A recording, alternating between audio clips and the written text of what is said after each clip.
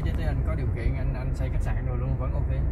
Ý anh là ý anh là ở đây là một lô là là 10 tỷ. Mà mặt tiền bao nhiêu anh? Mặt tiền có nghĩa là chiều ngang tùy theo 5, 6, 7, 8, 10 mét chiều dài sâu vô khoảng 20 mét. Thế có nghĩa là nếu như mà có những cái mặt tiền mà 8 mét mà chiều sâu 20 mét mình vẫn mua chỉ có khoảng 10 tỷ thôi đúng không? Đúng rồi đúng rồi. Rồi rồi. Mà giá nó đều như vậy có thể mua được giá mềm hơn Nghĩa không? là tùy theo ờ, tùy theo vị trí của đất nữa gần sân bay ờ, hoặc là xa sân bay. Nếu mà xa sân bay hơn á, thì nó sẽ rẻ hơn anh. Nếu À. mà đi đầu về đó kia đầu kia đầu sân bay á, thì nó sẽ đắt hơn. Rồi. Đó.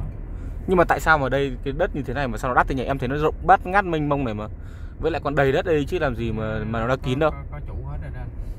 à, toàn là mối ờ, giới đầu tư rồi họ ra ngoài này mua. Thế nếu vậy thì đồng nghĩa vừa là giới đầu tư họ vào đây họ mua và họ muốn giữ cái giá đấy họ mới bán chứ. Cũng không hẳn là thị trường kiểu như nó sao dịch nhộn nhịp đúng không.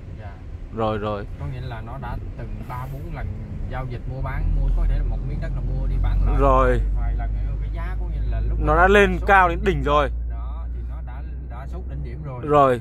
Bây giờ nếu mà người ta mua rồi người ta đầu tư rồi Thì người ta không thể bán rẻ được. bán được rồi rồi họ nghĩa là họ không thể bán rẻ được. mặc dù là giá trị bây giờ thì nó chưa có nhưng mà cái tiềm năng thì cũng sẽ có. Rồi rồi cũng có rồi những người tìm ờ, được những miếng rẻ rồi có thể là họ sẵn sàng họ đầu tư.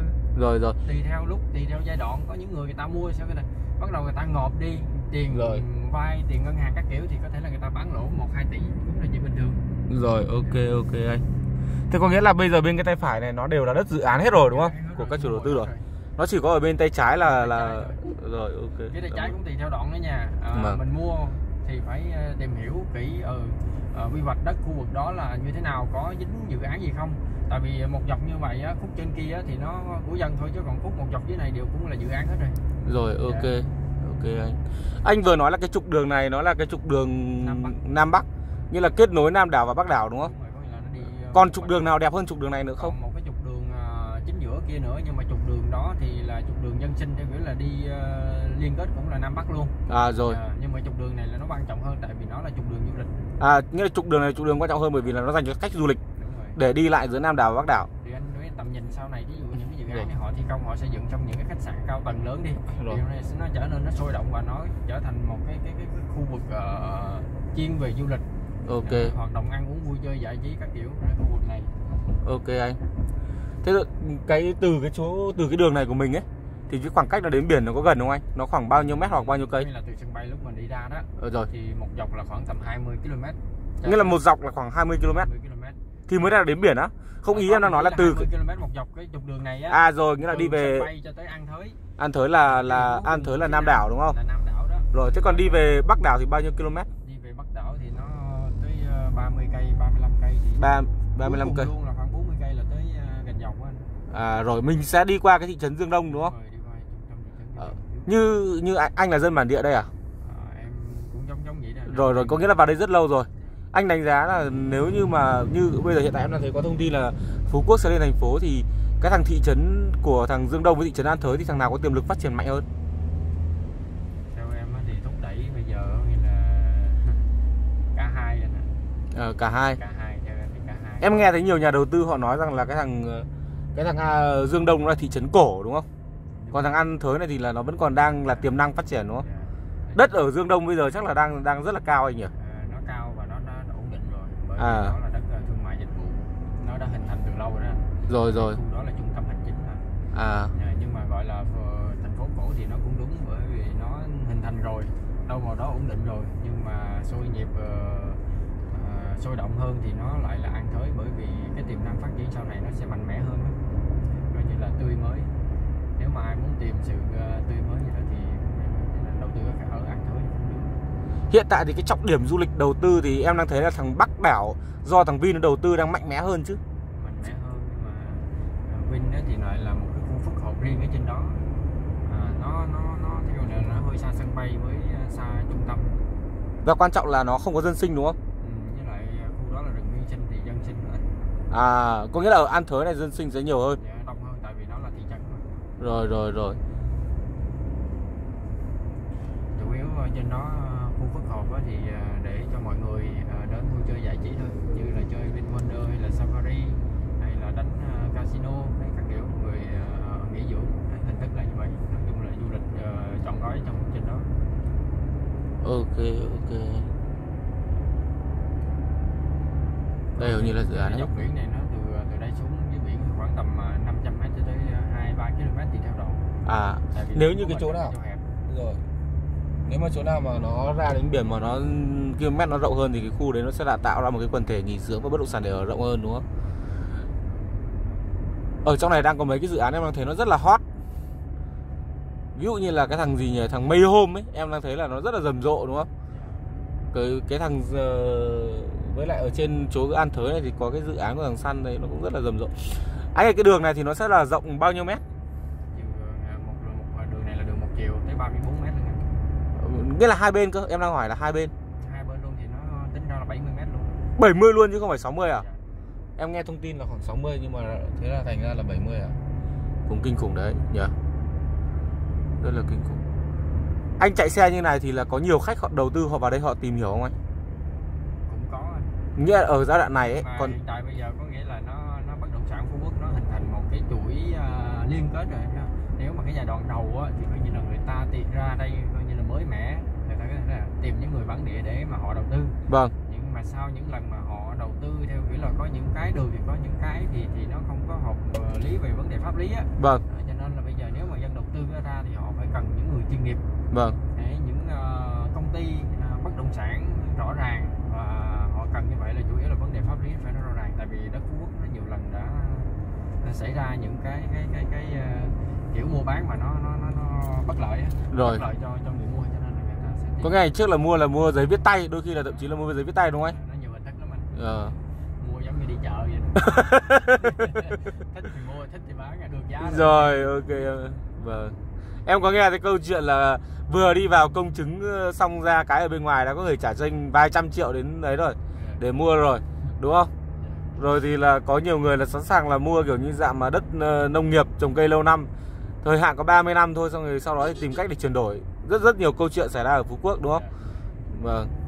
Thực ra thì những nhà đầu tư chắc tay thì chắc chắn là họ sẽ phải tìm hiểu kỹ về vấn đề về pháp lý Và họ sẽ phải mua những cái mà đất nó được sở hữu lâu dài. Đặc biệt là đối với người Bắc. Người Bắc là rất là ăn chắc và mặc bền. Cái gì sở hữu lâu dài thì cái đấy giá trị. Còn cái gì mà có thời hạn thì cái đấy không giá trị. Mặc dù là kể cả là nhìn thấy nó có tiềm năng tiềm năng tăng trưởng trong 30 năm đấy có thể tạo ra cho họ nguồn thu nhập nhiều tiền đi chăng nữa. Thì họ cũng vẫn cảm thấy rằng là nó chưa nó chưa giá trị. Trừ những người mà thực sự là tâm huyết đầu tư hoặc là về cái mảng du lịch hoặc khách sạn. Đúng không? Nhưng mà nếu mà cái đất mà 30 năm đấy thì em nghĩ là thường thường nó là đất nông nghiệp chứ còn những cái quy hoạch về du lịch thì nó phải là 50 70 năm chứ đúng không ạ? 50 đến 70 năm thì Đúng rồi. ờ, khu vực tùy theo ờ, dự án. Rồi ok ok. Anh em mình sắp đến An Thới chưa anh chuẩn bị khoảng ờ, 10 phút nữa tới anh ơi như anh chạy xe như này thì cái khách du lịch ý họ có hay nhiều khách đến đến đến khu An Thới này không? Có khu An Thới ờ, thu hút bởi ờ, bây giờ tập đoàn ờ, Sinh Home họ đầu tư một cái dự án cáp treo vượt biển dài nhất thế giới 8 km à.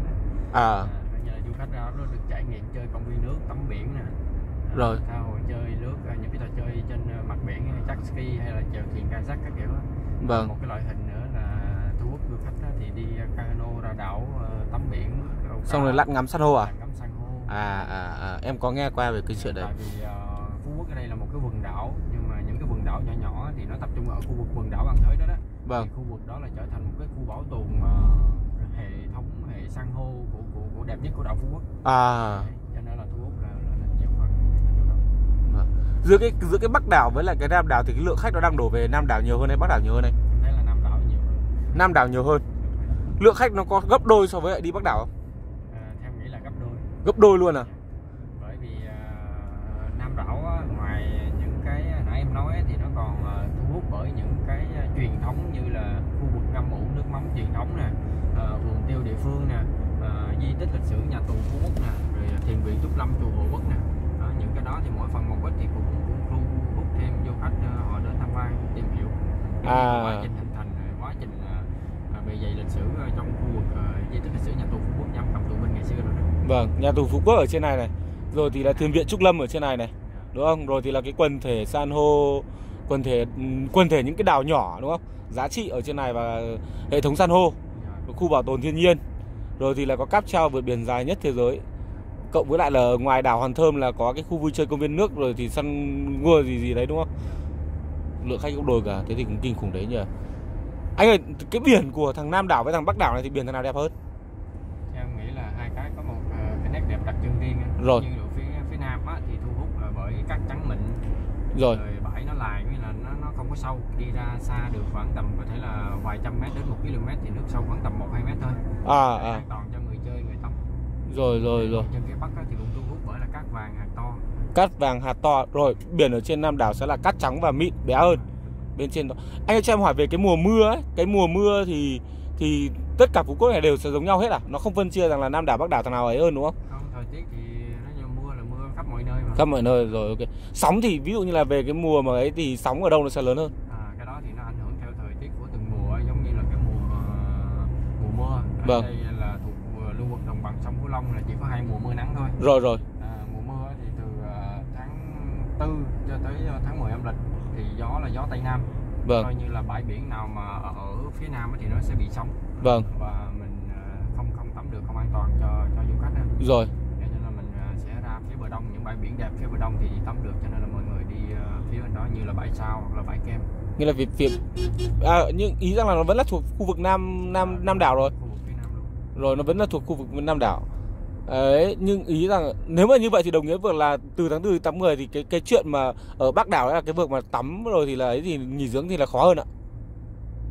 đúng rồi À, bởi vì là bên Bắc đảo nó chỉ có một mặt tiếp giáp biển đấy đúng không?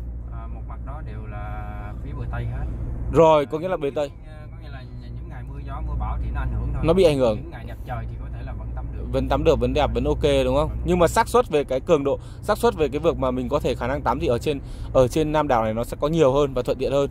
Tại vì là nó có nó có bờ đông. có bờ đông đúng nó có bờ đông. biển nằm ở phía bờ đông coi như là che bởi đảo Phú Quốc rồi thì nó không ảnh hưởng Ok ok. Ở Phú Quốc này nó có bao giờ có bão không anh? vẫn có chứ anh. một năm cứ mỗi một ờ, mùa mưa như vậy là có từ dao động khoảng tầm trên dưới 10 cơn bão mà Vâng, nhưng mà bão nó có ảnh hưởng lớn đến cái cuộc sống của người dân Phú Quốc không? Cũng không ảnh hưởng lắm tại vì ờ, bão mình đảo mình là đảo lọt sâu vùng vịnh Thái Lan á Ok. Cho nên là bởi bao phủ bởi những cái cái, cái nước ờ, láng giềng rồi Vâng là, vâng. là mình bị che chắn rồi mình không có ảnh hưởng nhiều gió mạnh thì ngã cây đổ cây được thôi Vâng. nhiều. Anh ơi thế còn à, từ mùa mưa là từ mùa tháng 4 đến tháng 10 thế còn đến cái mùa nắng là từ tháng 11 âm đúng không? Đúng rồi, Đến đến đến tháng 4 là là thoải mái luôn đúng không? Cuộc sống ờ, rất ổn định đúng không? Ok ok. Rồi. Rất là cảm ơn anh.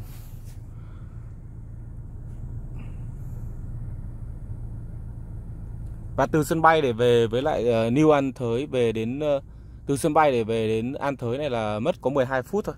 12 phút di chuyển. Khá là tuyệt vời rồi.